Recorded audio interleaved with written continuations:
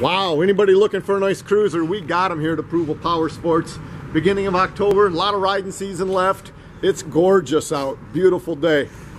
So the one we're doing a video on is a 2015 Suzuki M50 Boulevard. This bike only has, oh geez, 3,832 miles. It comes in a pearl white. As you guys can see, this thing looks like new. There's no dents, no dings, no scratches.